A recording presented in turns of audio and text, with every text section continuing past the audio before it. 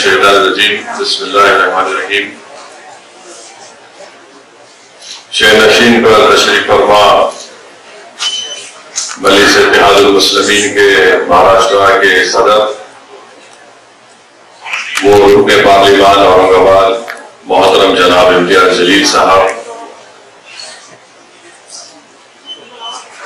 Dice पर और मंच पर मौजूद और तशरीफ़ फरमा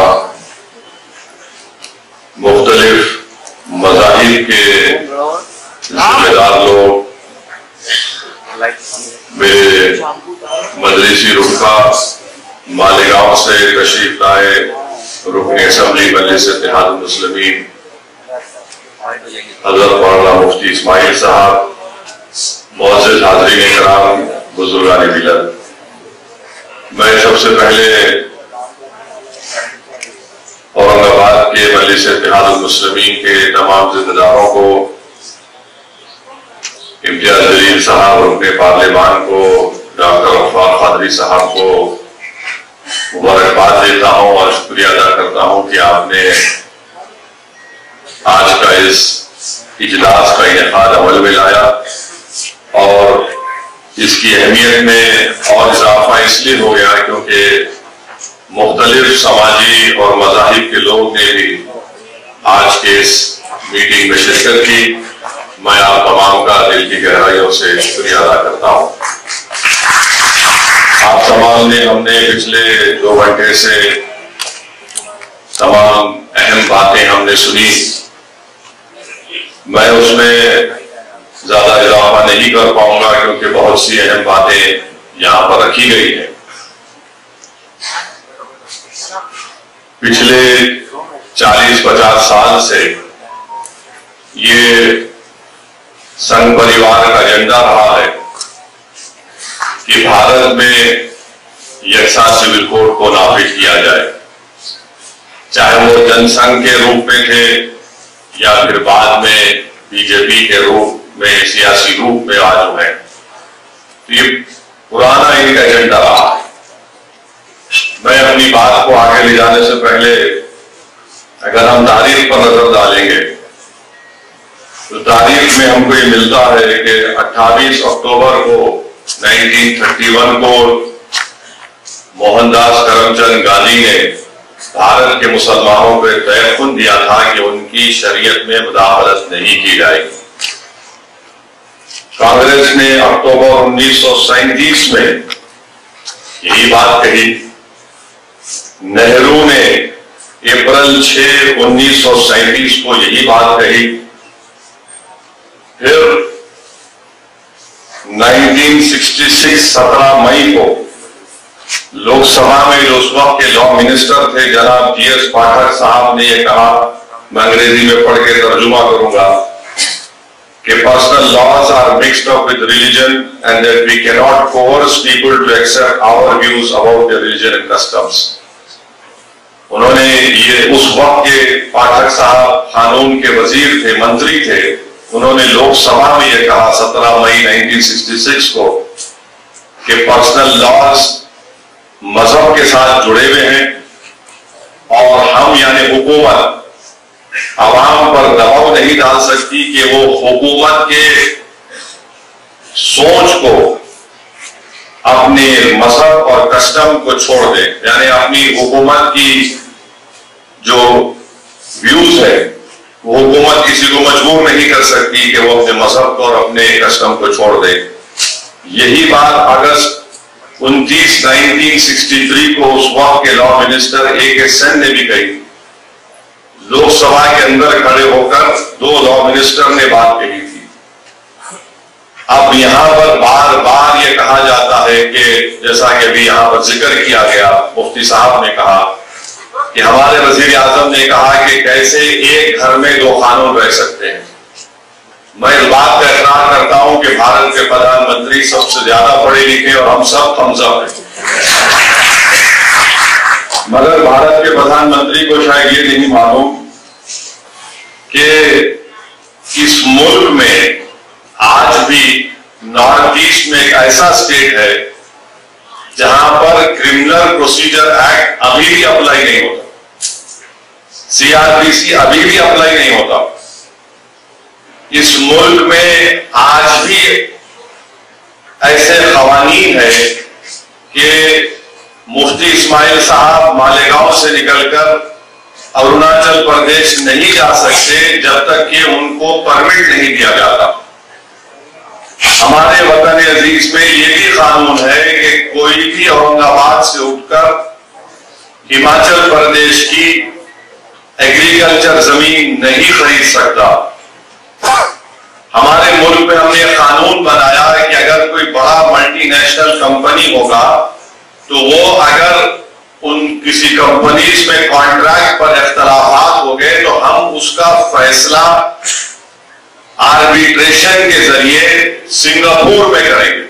ये हमने कानूनी सहूलत दी कि अगर दो कंपनीज़ में झगड़ा होगा तो हम इसका फैसला सिंगापुर में करेंगे। अब देश के प्रधानमंत्री ये जानते हैं या नहीं जानते हैं, मेरे को नहीं पता है, मगर ये मौजूद है। और नागालैंड और मिजोरम को तो हमने आइन में 371 का ज़िक्र कर दिया अच्छा फिर ये भी आप देख लीजिए कि ये इस मुल्क की खूबसूरती है कि यहाँ पर मुख्तलिफ़ किस्म के लोग रहते हैं ये बोलना कि यकसा सिविल कोड जनसंघ और आरएसएस की शुरू से साजिश की रही कि भारत की सबसे बड़ी अकलियत मुसलमानों की मजहबी शनाब को खत्म कर दिया जाए। और मैं आज आपके दरमियान में खड़े होकर खुलकर कह रहा हूँ कि बाज अगर हमारे जिम्मेदारों को मुस्लिम पर्सनल लॉ बोर्ड से अख्तलाफ है तो अख्तलाफ रखिए मगर एक बात याद रखिए कि ये जो शरीयत एप्लीकेशन एक्ट उन्नीस डिजोल्यूशन ऑफ़ मैरिज एक्ट 1939 है, ये आपको इस बात की इजाज़त देता है कि आप कुरान और सुन्नत के मुताबिक अपनी ज़िंदगी को गुजारें। अगर ये आपसे छीन छीन लिया जाएगा तो फिर आपका नुकसान होगा इसमें। तो इसलिए इसको पर्सनल लॉ बोर्ड अगर किसी व्यक्ता तो रखिए, पर इससे ऊपर उठकर देखिए इसको आप। अच्छा जब आइन बना जा रहा था, जब आइन बन रहा था, ये दोनों कानून को नहीं हटाया गया। उन्नीस सौ सैतीस और थर्टी नाइन के कानून को नहीं हटाया गया था। आइन बन गया, और यह कानून का हिस्सा भी बन गया। तो जो बात अंबेडकर और उस कमेटी में आइन बनाने वालों ने नहीं सोची, आज भारतीय जनता पार्टी सोच रही है।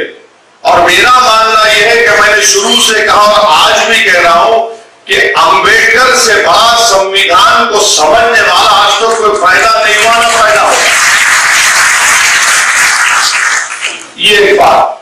अब जो अहम बात यह है कि ये बोला जाता है कि दुनिया में कहाँ पर है जो कानून बताओ आप तो हम उन लोगों को बताना चाह रहे हैं जो भारत के लोगों को बेवकूफ़ समझते हैं। इंग्लैंड में जाइए आपने पढ़ा हो इंग्लैंड में। इंग्लैंड में दो क्रिमिनल लॉ है स्कॉटलैंड का है इंग्लैंड का है। मुल्क कमज़ोर हो गया? फिर बोलते नहीं यहीं पर तुमको पर्सनल लॉ है। नहीं, गलत। पड़ोस में श्रीलंका है, वहाँ पर पर्सनल लॉ है। श्रीलंका में। अच्छा फिर आप दुनिया में बोलते, कहा है, बताओ। आपको जानकर हैरत होगी कि इसराइल में, इसराइल के जो इसराइली मुसलमान है, वहाँ के शहरी उनको पर्सनल लॉ उनका है, उनका चलने की इजाज़त है। फिर सिंगापुर में अब आप बताइए, फिर ये बार बार ये झूठ फैलाया जाता है कि नहीं, सिर्फ़ भारत में इनकी इनकी तुष्टिकरण हो रही। ये नहीं है। अब मैं आपके सामने जो बातें रखना चाह रहा हूँ कि ये यूनिफॉर्म सिविल कोड से सबसे ज़्यादा अगर तकलीफ़ होगी तो हमारे हिंदू भाइयों को होगी। और वो क्यों होगी मैं बताता हूँ आपको। मैं कानून का हवाला देकर क्योंकि बहुत सी बातें कही गई हैं, मैं कानून का हवाला देकर हमारे हिंदू भाइयों को और बहनों को पैगाम देना चाहता हूँ कि आपको एक सहूलत दी गई है। हिंदू मैरिज एक्ट 1955 में सेक्शन 5 सब सेक्शन फोर और सबसेक्शन फाइव में, उसमें यह कहा गया कि शादी उन लोगों में नहीं हो सकती जिनमें सपिंदा रिलेशनशिप हो। मगर आगे जाकर कहा गया however this an exception carve down if this a custom or usage यानी आप इन माने आ, अगर आपके हिंदू भाइयों में है कि अगर उनके वालिद के सात नस्लों में और माँ की तरफ़ से पाँच नस्लों में कोई रिश्तेदार तो शादी नहीं होगी। मगर उसका एक्सेप्शन दे दिया। यानी उसका एक्सेप्शन उनको दे दिए। अब आप ये एक्सेप्शन खो देंगे। क्योंकि जब यूनिफॉर्म सिविल कोड अगर आएगा तो एक्सेप्शन कैसा मिलेगा आपको? अगर आपका कस्टम है तो फिर मेरा भी कस्टम है, याद रखिए आप। तो यकसानियत कैसा होगा? अगर पैदा करना है तो कैसा होगा? ये आपका नुकसान होगा। दूसरा सेक्शन सेवन है। Ceremonies of Hindu marriage act का कि आप अपनी शादी अपने कस्टमरी राइट्स के तहत, यानी आपके जो रिवायतें हैं, उसके तहत आप करें। यूसीसी आएगा तो सेक्शन सेवन चला जाएगा। सेक्शन ट्वेंटी नाइन सेविंग्स का क्लॉज है, वो चला जाएगा। और सेक्शन टू सबसेक्शन टू है, जो शेड्यूल्ड ट्राइब्स को एग्ज़ाम करता है, उनको ये कहा जाता है कि उसमें कहा गया कि Hindu marriage act scheduled tribes पर अप्लाई नहीं होगा तो फिर ये हमारे शेड्यूल्ड ट्राइब भाइयों का भी नुकसान होगा। फिर सेक्शन थ्री का डेफिनेशन है, जिसमें ये बताया गया कि कस्टम एंड यूसेज क्या है, वो आपसे चला जाएगा हमारे हिंदू भाइयों से। और तमिलनाडु के हमारे हिंदू भाइयों को मैं कहना चाहूँगा कि Hindu marriage Tamil Nadu amendment act 1967 इसमें अंग्रेज़ी में पढ़ता हूँ सेक्शन सेवन उसमें डाला गया 1955 के कानून में। क्या कहा गया? Introduce a special provision regarding सूया Mariyathai and सीतुराता marriages और उनके जो कस्टमरी रिचुअल्स हैं, उसके तहत करेंगे। अब जब यूनिफॉर्म सिविल कोड लाया जाएगा तो आप इस चीज़ से महरूम हो जाएँगे तमिलनाडु में। फिर हिंदू सक्सेशन एक्ट पर आ जाइए आप। हिंदू सक्सेशन एक्ट ये कहता है कि सेक्शन फाइव ये देखिए सेक्शन फाइव आप लूज कर देंगे। माने अगर किसी को एक एक एक स्टेट किसी को एक को दे दिया, एक आदमी को। और इसका मिसाल दे रहा हूँ बीजेपी के जो शाही खानदान के लोग अभी बीजेपी मध्य प्रदेश में है। भाई और उनके मरहूम भाई और बहनों में आज भी कानूनी केस चल रहा। नाम लूँगा तो फिर मीडिया वाले छह बजे से मेरा निकाह शुरू करेंगे। तो हलमंद को इशारा काफ़ी है। तो ये कानून अगर आप यूसीसी आएगा तो हिंदू सक्सेशन एक्ट 1956 का सेक्शन फाइव चला जाएगा आपका। और फिर आप आ जाइए section six devolution of interest in coparcenary property ये भी गायब हो जाएगा। इससे नुकसान हमारे हिंदू भाइयों को होगा। क्यों होगा? क्योंकि जॉइंट हिंदू फैमिली में को पार्सनरी है। वो ज़्यादातर मिताक्षरा कानून पर अब मुसलमानों को समझने की ज़रूरत है कि हमारे हिंदू भाइयों में दो स्कूल ऑफ़ थॉट है, दया भागा है मिताक्षरा तो अब ये होगा तो फिर ये मिताक्षरा के स्कूल ऑफ़ थॉट से आप लोग महरूम हो जाएँगे। और फिर हिंदू अनडिवाइडेड फैमिली यानी अगर कोई हमारे हिंदू भाई को सहूलत दी गई है, सिवाय सिर्फ़ हिंदू भाइयों को, कि वो अगर कोई बिज़नेस शुरू करे कारोबार वाले हिंदू अनडिवाइडेड फैमिली में उनको टैक्स से रिबेट मिलता है इनकम टैक्स में। और अगर यूसीसी आएगा तो हमारे हिंदू भाइयों को 2015 का इनकम टैक्स का ये रिकॉर्ड बताता है कि तीन हज़ार पैंसठ करोड़ रुपया का उनको टैक्स रिबेट मिला। अब ये ये कैसा रहेगा फिर यूसीसी में? ये हमारे हिंदू भाइयों को सोचना पड़ेगा। फिर आप आ जाइए सेक्शन टू है उनका सबसेक्शन टू है सेक्शन थ्री है। अच्छा हिंदू माइनॉरिटी गार्डियनशिप एक्ट है। सेक्शन सिक्स चला जाएगा। सेक्शन सिक्स चला जाएगा हिंदू माइनर के ताल्लुक से। फिर Hindu adoption and maintenance act 1956 है। उसमें यह बात कही गई कि अगर आप किसी को एडॉप्ट करना चाहते हैं गोद लेना चाहते हैं तो कानून तो यह है कि आप किसी को गोद लेंगे जो जिससे शादी नहीं हुई। मगर यहाँ पर हिंदू भाइयों को एक एग्जेप्शन दिया गया कि अगर आपका कस्टम है कि वहाँ पर किसी की शादी भी हो जाती, तब भी हम उसको गोद ले सकते हैं। ये आप इससे महरूम हो जाएँगे। और पंद्रह साल से ज़्यादा भी है, अगर कस्टम है तो आप ले सकते हैं, आप उससे भी महरूम हो जाएँगे।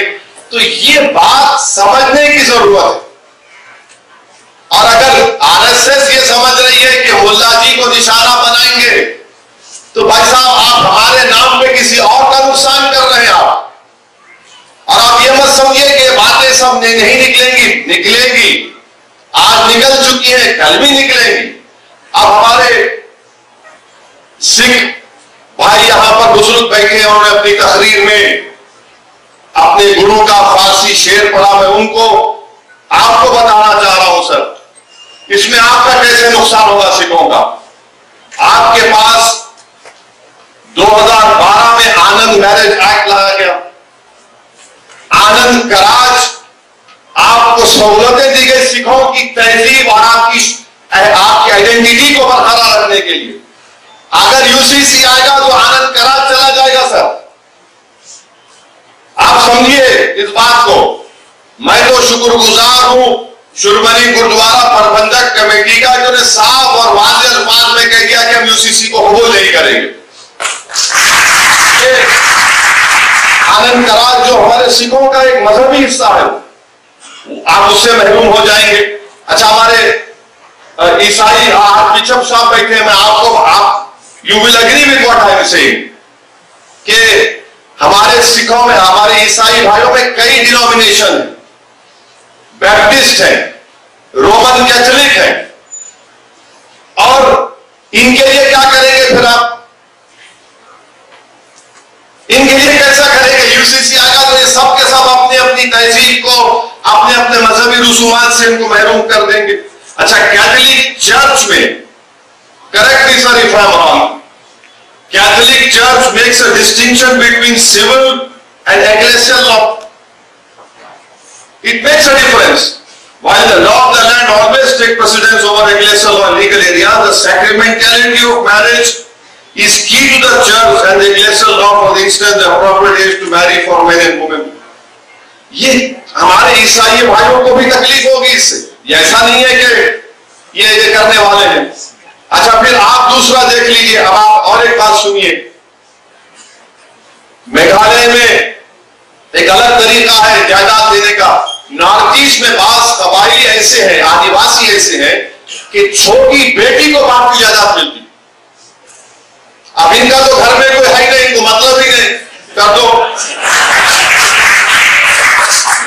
फिर, अब आप ये देखिए कि हमारे मराठी कम्युनिटीज में मराठास है कुंभीज है मालीज है, बहार है यहाँ पर भाई की बेटी की शादी बहन के बेटे से होती है।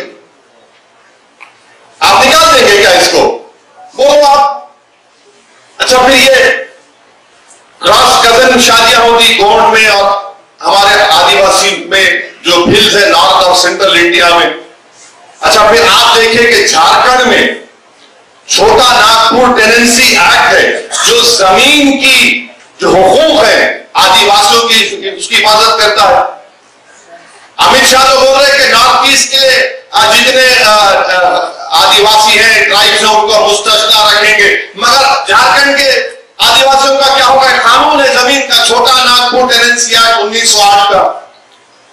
फिर एक और कानून है provision of panchayat extension to schedule areas act 1966 जो सेल्फ गवर्नेंस देता है। और ये कहता है कि तुम पंचायत में सेल्फ गवर्नेंस करो और तुम्हारे जो रिवायती ग्राम सभा से यानी फिर रिवायती, अरे इनका कल वो कल्चर आ गए उससे आप महरूम हो जाएँगे।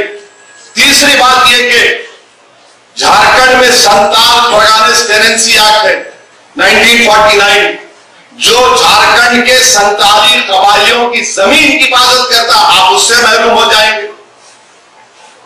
आपको समझना है कि नरेंद्र मोदी कहाँ से आ रहे हैं? दिखा तो रहे हैं कि मुसलमान को सबक सिखाएँगे मगर नुकसान देश का होने वाला है। नुकसान देश की प्लुरलिज्म को होगा इज्तमाहीत को होगा। जो काम हमारे बुज़ुर्गों ने नहीं किया, आप करने जा रहे हैं। तो इसीलिए यकसा सिविल कोड भारत के लिए ही नहीं। और फिर हमारे पास मुसलमान हैं। जमहूरियत है आपको राय रखने का अख्तियार मुझे भी राय रखने का अख्तियार और जो लोग आज नरेंद्र मोदी के इशारों पर कठपुतली बनकर नाच रहे मैं तुमको सरकारी मुसलमान को कहूँगा अच्छा बात को खड़े होकर बोलते ए क्या बोल रहे लोग कहा कुरान सुन्नत में तो इन लोगों के लिए उलमा काफ़ी है जवाब देने के लिए शायर ने बादशाह कहा इनके बारे में इन गुलामों का यह मसलक है कि नाकिस है किताब। इन गुलामों का यह मसलक है कि नाकिस है किताब कि सिकाती नहीं, मोमिन को गुलामी की तरीफ ये वो लोग हैं। और किसी शायर ने एक जगह पर अच्छा कहा खुद बदलते नहीं, कुरान को बदल देते हैं। वो एक इस दर्जे के फकियान हरम बेतौफी ये वो लोग हैं। अब आप देखेंगे, दिल्ली में एक फ़ंक्शन होने जा रहा ये रंग बिरंगी कपड़े पहन के पूरे पहुँचने वाले हैं। रंग बिरंगी कपड़े एक एक रंग का एक एक रंग में जमे हुए हैं लोग। मगर इनका रंग, इनका दिल बीजेपी से मिला हुआ। वहाँ पहुँच के बोले गए डरने की कोई बात ही नहीं है? मैं उन लोगों से भी बड़ी साफ़ तौर पर कहना चाह रहा हूँ, याद रखो, शरीयत रास्ता है, तरीकत मंजिल है। शरीयत पर कोई कॉम्प्रोमाइज नहीं किया जा सकता अगर कोई अब कह रहा है कि मैं सूफिज्म को, तरीकत को मानता हूँ तो फिर जुनेद बगदादी ने रहमतुल्लाह ने क्या कहा था? जुनेद बगदादी रहमतुल्लाह ने कहा था कि सूफी वो है जो दुनिया में मर गया और अल्लाह के लिए ज़िंदा है दुनिया में। हम ये लोग अब दिल्ली में होने जा रहा है प्रोग्राम ये सरकारी मुसलमानों का। ये पूरे बैठेंगे। और उन्हें कोई फ़िक्र की बात नहीं है। अरे तुम इतने बड़े बड़े आस्थानों से आते हो। तुम इतने बड़े बड़े औलिया अल्लाह के आस्थानों से आते हो बादशाहों के महल वीरान हो गए, बर्बाद हो गए, मगर वो आस्थान आज भी आबाद है। क्यों आबाद है? क्योंकि वो जो लोग थे, उन्होंने दुनिया को तर्क किया, अल्लाह की मोहब्बत को सामने रखा रसूल अल्लाह सल्लल्लाहु अलैहि वसल्लम से खून का हर चीज़ से ज़्यादा मोहब्बत की। क्योंकि आज दुनिया उनको याद रखती है, मगर आज दिल्ली में आप जाएँगे आप बोलेंगे नहीं, कुछ परेशानी की बात ही नहीं है। कुछ कुछ भी नहीं है। मेरे दोस्त, आपको अगर ये हुकूमत की खुशामद करना है करिए मगर एक लाइन डालिए। एक लाइन डालिए। उससे आगे मत जाइए आप। अच्छा और एक बात मैं आपको बताकर, क्योंकि असर का वक्त होने वाला है। हाँ बिल्कुल। आप पंच वक्त का नमाजी नज़र आ रहे हैं माशा बहुत अच्छा वेरी गुड मेरे लिए दुआ करना भाई गुनागार दुआ ये करना कि अल्लाह जबान में और तेजाबगी दे। अच्छा ये अब मुसलमानों को निशाना बनाते हर हर टीवी प्रोग्राम अब देखो, यकसा सिविल कोर्ट का होता। क्या दिखाते टीवी पे? बुरखे में क्या है? बहन हमारी बेटी। अरे, मुसलमान टोपी पहन के जा रहा। इनको एहसास है। ये बड़े तकलीफ़ में है। इन पे जुल्म किया जा रहा है। जायदाद में हिस्सा नहीं दिया जा रहा है। मैं चैलेंज के साथ कह रहा हूँ। दुनिया में अगर सबसे पहले किसी ने किसी महिला को जायदाद में हिस्सा दिया तो वो रसूल अल्लाह सल्लल्लाहु अलैहि वसल्लम इस्लाम है। इस्लाम ने कहा, दो औरत को जायदाद में हिस्सा दो। नहीं, मगर आप टीवी पे दिखाते बड़ा जुल्म हो रहा अरे ये बिल्किस बानो का जुल्म तुमको याद नहीं आया। बिल्किस बानो को तुम भूल गए। ये जो जो बच्चों को जो नासिक में गाड़ी से उतार कर बहुत लिंचिंग करके मार दिया गया, उनकी कमज़ोरी तकलीफ़ याद नहीं आई तुमको? जिन बच्चों को हिजाब पहन के जा रहे उनका हिजाब खींचा जाता है। वो तकलीफ़ याद नहीं आया आपको? अब ये बताना कि देखिए, मुसलमान, अरे मेरे दोस्त सच्चाई ये है। और फिर और एक बात मुसलमान बहुत शादियाँ करते कहा रिकॉर्ड बताओ कितने शादियाँ हम करें? बताओ निकाल के बताओ ना, कितने शादियाँ मुसलमान करे, कितने शादियाँ हमारे हिंदू भाई करे, कौन कौन से कितने करे, बताओ। अच्छा जो करे, उनके साथ उनकी जोरू नहीं रहती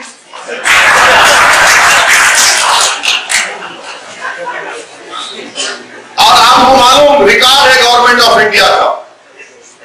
ये आप उठाकर पढ़ो आप।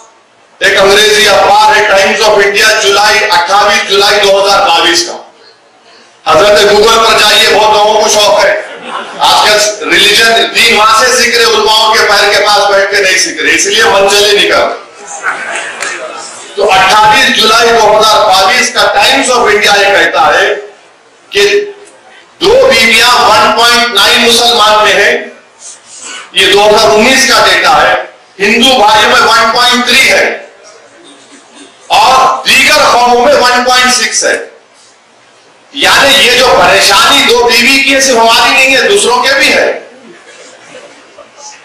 और हिंदू और मुसलमानों में पॉइंट सिक्स का फ़र्क है। अब आप बोलेंगे कि भाई अब बताओ, फ़र्क बताओ, सऊदी ओवैसी मुसलमान की दूसरी बीवी रही। और दूसरों की दूसरी बीवी रही तो क्या फ़र्क है? फ़र्क यह है कि वो मेरी बीवी है और दूसरों में बीवी नहीं है। फ़र्क यह है कि उसको मेंटेनेंस मिलता। फ़र्क यह है कि उसको अपने रहने के लिए घर मिलता। यह फ़र्क है। अच्छा फिर आप बोलेंगे कि हमने मुल्क में कानून बना दिया चाइल्ड मैरिज एक्ट बना दिया। बिल्कुल बनाया, मगर क्या यह सच नहीं है? कि चाइल्ड मैरिज एक्ट में 84 परसेंट चाइल्ड मैरिज होती है हमारे हिंदू भाइयों की। कानून का बना दिया अच्छा ऊपर से और एक बात देखो जब चाइल्ड मैरिज हो जाती है, मैरिज खत्म नहीं होती वॉइड होती वॉइड होती यही तो बता रहा है आज हमने, हम ये नहीं कह रहे कि मुसलमानों में कमजोरियाँ नहीं है यकीन जहेज की लानत है। जैसा सब जगह पर है यकीन हमारे बहनों को, बच्चों को और उठाना है, जैसा कि सब जगह पर है। मगर आपको सिर्फ़ इस बात की फ़िक्र है। आप हमारी शनाख्त को खींची, हमसे छीनना चाहते हैं, और कुछ नहीं है आपका। रिजर्वेशन आप नहीं देना चाहते, नहीं, मज़हब के नाम पे नहीं देते। मगर मज़हब से मज़हब छीन के पूरा ताकतवर बनाना चाहेंगे आप। रिजर्वेशन तो महाराष्ट्र में नहीं देंगे।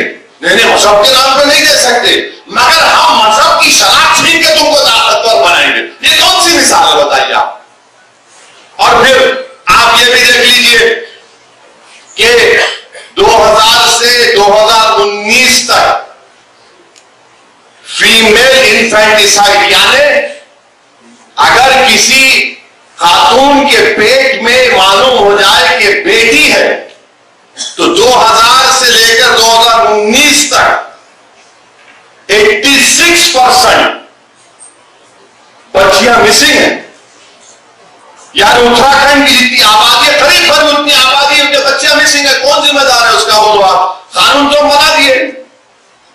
अच्छा सेक्स रेशियो आप देखो, मुसलमानों का दूसरे रिलीजन के साथ।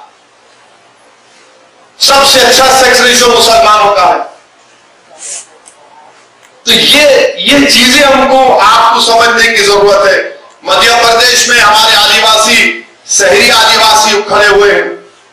खड़े हुए खड़े हुए वो। अच्छा मैं चाहूँगा कि देवेंद्र फडणवीस जरा महाराष्ट्र के ट्राइबल एरिया में जाके बात करें यूसीसी की।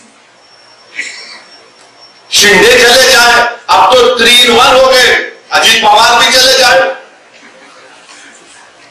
महाराष्ट्र के आदिवासी एरिया में जाके बोले, हम लाएँगे। देखो क्या नतीजा निकलता वहाँ पे। करवा छत्तीसगढ़ में जाके बोला इलेक्शन है तीन चार महीने में।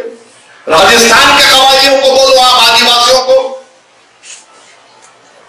हम यही बताना चाह रहे हैं कि ये जो भारत की खूबसूरती जिसका ज़िक्र इम्तियाज़ जलील साहब ने किया, यही खूबसूरती है भारत की।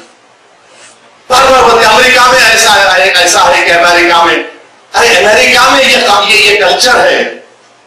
अमेरिका में कल दो हज़ार से तीन हज़ार कितने कल्चर है, नहीं है। अच्छा अमेरिका में हर स्टेट में उसका अलग कानून है, मगर फिर भी अमेरिका ताकतवर है। या उल्टा बोलते भारत के वज़ीर आज़म बोले कि एक मुल्क में, घर में दो कानून कैसा रहेंगे। तो ये बातें हैं। इसको समझने की ज़रूरत है। और अगर नहीं समझेंगे नहीं समझेंगे तो फिर आप मुल्क को कमज़ोर करना चाहते हैं। और फिर किसी एक टीवी चैनल पे बोले कि हम एक सर्वे करें, आठ हज़ार औरतों का सर्वे करें। अरे दीवाने, मुस्लिम पर्सन लॉ बोर्ड ने चार करोड़ अस्सी लाख लोगों का सर्वे ओपिनियन लेके सीडी में इक्कीस लॉ कमीशन को दिया। और तुम आठ हज़ार की बात कर रहे हो, उस चार करोड़ अस्सी लाख में आधे हमारी बहनें हैं, बेटियाँ हैं, जिन्होंने रद्द किया कि हमको एक सिविल कोर्ट नहीं चाहिए। अब आप बता रहे तो ये मकसद एक ही है कि भारत के इस खूबसूरती को हमेशा के लिए प्लूरिज्म खत्म करके रख दिया जाए। भारत के वज़ीर आज़म क्या बोलते हैं कि एक एक भारत, एक इलेक्शन एक भारत, एक टैक्स एक भारत, एक कल्चर एक भारत, एक मज़हब, एक भारत, एक सदा अब हद हो गई कि रुके ने इन लोगों ने एक भारत, एक फर्टिलाइज़र कैसा पे फर्टिलाइज़र हो सकता है मेरे बताइए आप? अरे बोले जा रहे हैं। पके जा रहा हूँ जुनू में क्या क्या? और सामने बता रहे मुल्ला जी को मुसलमान को इनको इनको हम सबक सिखा नहीं। आप सबका नुकसान करने वाले तो इसीलिए हम तमाम को खास तौर से हमारे हिंदू भाई बहनों को समझना पड़ेगा। कि आपका कितना बड़ा नुकसान होने जा रहा है। आप किस चीज़ से महरूम हो जाएँगे?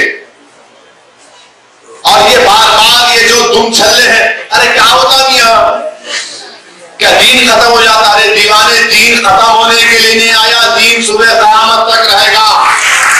दुनिया उस वक्त खत्म होगी जब कलमा बोलने वाला नहीं रहेगा, जब दुनिया खत्म होगी। मगर मैं दीन की बात नहीं कर रहा हूँ मैं, मुल्क की आइन की, दलितों की, आदिवासी की, क्रिश्चियन की, हिंदू भाइयों की सबकी बात कर रहा हूँ, देश के हित में बात कर रहा हूँ। मगर इसको चेंज कर देते अब हमारे मीडिया वाले भी सोच रहे होंगे कि अब कहाँ से इसको पकड़ना? नहीं पकड़ सकते आप। कहाँ से पकड़ते पकड़ो आप। कैरम बोर्ड है क्वीन को कब गिराएँगे किंग को कब गिराएँगे? मुल्क है भाई मुल्क को चलाना है। ये भारत है 130 करोड़ का देश है। इसको आप दो मिनट नूडल के साथ नहीं चला सकते। लाए नूडल खरीदे, पाँच मिनट बनाए अम्मा देखा बच्चे को क्या बच्चा खाता बैठ ये ऐसा नहीं है भारत की। 130 करोड़ का देश है। यहाँ पर हमा किस्म के लोग हैं हमा किस्म के रंग के लोग हैं। हमा किस्म के सोच के लोग हैं। इसीलिए तो हमारे बुज़ुर्गों ने तो अंग्रेज़ों से खिलाफ लड़ा था कि इस मुल्क को ऐसा रखेंगे हम। और मैं अपनी बात को खत्म करूँगा, इस बात पर, दो बात पर खत्म करूँगा कि जो हमारा इक्कीसवा लॉ कमीशन था, चौहान साहब चौहान साहब ने क्या कहा था? कि cultural diversity cannot be compromise to the extent that our urge for uniformity itself becomes a reason for threat to the territorial integrity of the nation. Justice Chauhan साहब जो इक्कीसवीं लॉ कमीशन के चेयरमैन थे उन्होंने कहा कि cultural जो diversity है मुल्क की जो खूबसूरती है, उसको कॉम्प्रोमाइज इस हद तक नहीं किया जा सकता यूनिफॉर्मिटी के नाम पर कि ये हमारे भारत की टेरिटोरियल इंटेग्रिटी के लिए खतरा बन जाए ये सुप्रीम कोर्ट का जज कह रहा है बीएस चौहान साहब कह रहे और फिर बाबा साहेब अंबेडकर ने क्या कहा था? बाबा साहेब अंबेडकर ने यह कहा था। बाबा साहेब अंबेडकर ने कहा था। कब कहा था, वो भी बोल रहा हूँ। 2 दिसंबर 1948 को बाबा साहेब अंबेडकर ने कहा is therefore quite impossible for anyone to conceive that the personal law shall be excluded from the jurisdiction of the state. Having said that, I should also like to point out that all the state is claiming in this matter is a power to legislate. और आप देखिए यहां पर बाबा साहिब ने क्या कहा there is no obligation upon the state to do with personal loss यानी state के ऊपर ये कोई ऑब्लिगेशन नहीं है कि पर्सनल लॉ हटा दे फिर बाबा apprehensive of the fact that if the state has the power, the state will immediately proceed to execute or enforce that power in a manner that may be found to be objectionable by the Muslims or by Christians or by other community in India. फिर बाबा साहब कहते हैं we must all remember सबको इस बात को याद रखना है बशमूल मुसलमानों को माने बाबा साहब कह रहे हैं अंदर पार्लियामेंट में जब आइन बनाया जा including members of Muslim community who spoke on this subject that no one can, though one can appreciate their feelings very well, that sovereignty is always limited, no matter even if you assert that it is unlimited, because sovereignty is exercise of that power must reconcile itself to the sentiments of different communities. No government can exercise its power in such a manner as to provoke the Muslim to rise in rebellion ये बाबा साहिब ने कहा कि कोई भी हुकूमत अपने अख्तियार को इस तरह से अगर इस्तेमाल करेगी कि मुसलमानों को प्रवोक करे कि वो रोडों पर निकल कर आए रेबिलियन करे। ये बाबा साहेब अंबेडकर ने कहा। और क्या कहा बाद में बाबा साहेब ने? I think it would be mad government if it so Baba Saheb ने कहा ऐसा कोई करेगा तो पागल हुकूमत है। ये Baba Saheb Ambedkar But that is a matter which relates exercise of the power and not to the power itself. ये बाबा साहेब अंबेडकर ने कहा अब नरेंद्र मोदी जो बाबा साहेब अंबेडकर का नाम लेते लेते नहीं थकते, उनको पढ़ना चाहिए ये। ये आरएसएस वालों को जो झूठी मोहब्बत करते हैं बाबा साहेब से, उनको पढ़ना चाहिए। और ये जो सेकुलर पार्टी है, चाहे वो कांग्रेस हो, राष्ट्रवादी हो, उनको मैं पूछना चाह रहा हूँ कांग्रेस पार्टी को। गांधी ने अक्टूबर अट्ठाईस नाइनटीन थर्टी वन को नहीं कहा था। क्या कांग्रेस ने अक्टूबर 1937 को नहीं कहा था? क्या नेहरू ने अप्रैल छह उन्नीस को नहीं कहा था? बोलो फिर मुँह खोलो। और वो वो वो लोग जो मुझ पर मुफ्ती इस्माइल पर इम्तियाज़ जलील पर, डॉक्टर अफवार कादरी पर इल्ज़ाम लगाते बी टीम अरे कहाँ गए तुम लोग? आज गूँगे बन के बैठे हो। तुम शरीयत की इबादत के लिए तुम्हारी जबान को जुम्बिश नहीं करते इलेक्शन आ जाएगा तो गुलामी करने के लिए तैयार हो जाते हो अरे आज बोलो ना कल क्या बोलोगे जब हिसाब किताब का मैदान होगा आज बोलो बोल के दिखाओ जाओ बोलो अपनी पार्टियों को मुँह खोलो रोको इस चीज़ को मगर इलेक्शन आएगा नहीं नहीं नहीं ये लोग वोट तोड़ते हैं अरे हम भारत के लिए बात कर रहे हैं हमको इस बात का संविधान आर्टिकल 25 आर्टिकल 44 से बड़ा है आर्टिकल 29 आर्टिकल 44 से बड़ा है फंडामेंटल राइट है मेरा आर्टिकल 14 मेरा राइट है मगर ये लोग आज गूँगे बनकर बैठे हैं ये बेहतरीन आपको एक आपके सामने इन तमाम मुहिमान कौम के चेहरा सामने आ रहा है इलेक्शन आएगा तो थकते नहीं थकते नहीं अरे रुको ज़िंदगी मौत का मामला ये ज़िंदगी मौत का नहीं है ये शराब छीन ले रहे मेरी ये मेरी शराब छीन ले रहे अरे अगर तुम्हारे दिलों में कुरान और उसके रसूल की सल्लल्लाहु अलैहि वसल्लम की मोहब्बत है तो बोलो आज आज बोलो आज कानून की सहूलत तुम्हारे पास है और फिर दूसरा ऐसे ये ये तरफ़ अरे वो पाकिस्तान प्राइम मिनिस्टर बोले पाकिस्तान में बर्खास्त हो गया वो फुला मुल्क में बर्खास्त हो गया नरेंद्र मोदी, आप इंडिया के प्राइम मिनिस्टर हैं या मुस्लिम कंट्रीज़ के हैं आप? मेरे को उनसे क्या करना है? मेरे को ईरान से क्या मतलब? मेरे को यूएई से क्या मतलब? मेरे को सऊदी अरेबिया से क्या मतलब? मेरे को मिसर से क्या मतलब? पाकिस्तान से तो मतलब ही नहीं था तो इसलिए हमने टू नेशन थेरी को टुकराया जिना की। भारत के प्रधानमंत्री हिंदी मिसाल देते। भारत के प्रधानमंत्री आप नहीं जानते, भारत देश में हमारे जो मुस्लिम उलेमा है, मुस्लिम मुहदस है, मुसलमानों के जो फुका है, मुसलमानों के जो मुफसर है, दुनिया में उनके से कोई ऐसे उलमा नहीं है जो भारत में है, मगर आपको मालूम ही नहीं। और इनको नफरत क्या है बताता हूँ, एक पसल्ला वोट है। इस फसल्ला बोर्ड के अंदर एक ओवैसी भी बैठा है, एक देवबंदी भी बैठा है, एक सूफी भी बैठा है, एक बरेलवी भी बैठा है, एक तबलीगी भी बैठा है, एक महदवी बैठा है, एक शिया बैठा है, एक अहले हदीस बैठा है। ये इन लोगों को डर होगा ओहो, ये जहाँ पर पूरों को बिठा दिए बड़ी तकलीफ़ होगी उनको इस बात की भी याद रखिए आप इस बात को और ये आसान काम नहीं है ये आसान काम नहीं है सबको एक जगह बिठाना इनको समझ में नहीं आता कि कैसा इनको इंतज़ार पैदा कर देना कैसा इनको मुंतशिर कर देना तो ये बहुत बड़ी साजिश का हिस्सा है। इसीलिए चंद बातें मैं आपके सामने बड़े अखलास के साथ अर्ज़ किया हूँ। मैं मुबारकबाद देता हूँ औरंगाबाद के हमारे तमाम मजलिस के रुफाओं को, खासतौर से इम्तियाज़ जलील साहब को और हमारे डॉक्टर अफवार कादरी तमाम अराकीन बल्दिया को और हमारे तमाम सिख भाई को, हमारे आज बिशप साहब को वो समाज के जिम्मेदारों को और इंटेलेक्चुअल्स को जो आज यहाँ पर आए और हमने यहाँ से एक इतिहाद का पैगाम किया है, हम उम्मीद करते हैं कि भारत के वज़ीर आज़म इस इतिहाद के पैगाम की इज़्ज़त करेंगे, एहतराम करेंगे उसको कबूल करेंगे। वाह